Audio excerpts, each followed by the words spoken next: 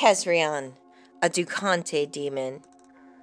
Direction is southeast. Element is air and fire. Color is gold or yellow. Metal is gold or copper. Planet is sun or Mars and or Mercury. Scent is frankincense and devils. Good offerings are incense, candles, and blood. N is Isrir, Remic, Ganon, Tezrian. Astrological sign is a Sagittarius. Moon phases. Best time to summon Tezrian would be the new moon or full moon, depending on if you want to begin or to end something. Crystals for her would be amethyst, hematite, tiger's eye.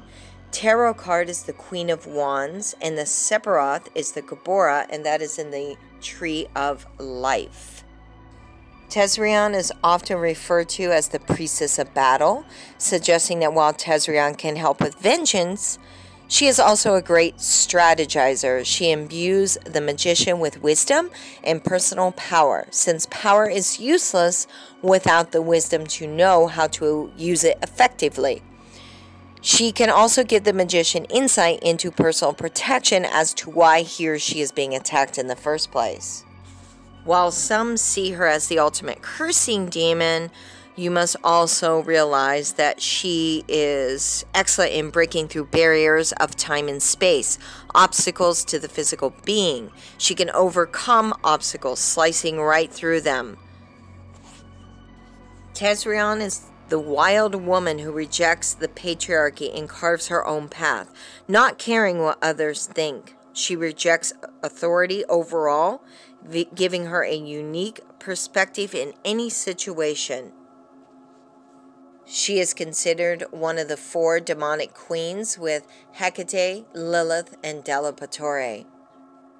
When it comes to working with her, uh, there are fewer more feared than Tezrian, but despite her reputation, she's actually a very helpful demon and one that can you can easily work with if you know how.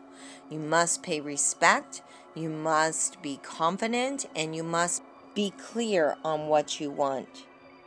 It may take her a little bit of time to actually feel you out, so to speak, but she is one hell of a protectant uh, demon to work with.